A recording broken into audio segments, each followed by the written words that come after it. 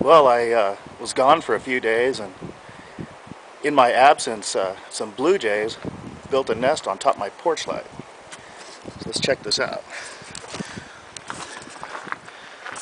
When I walk up there, she'll fly away, I'm pretty sure. But she always comes back.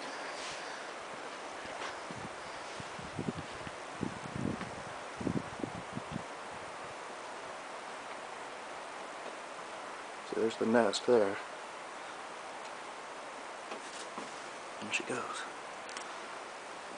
Check this out. Big old nest right on my uh, porch. And it has eggs in it too. These eggs in there.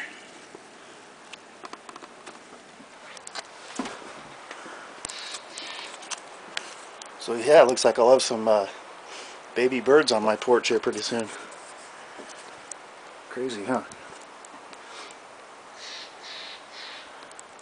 So what do you think about birds living on the porch, huh buddy? what do you think about that? No, you can't get them.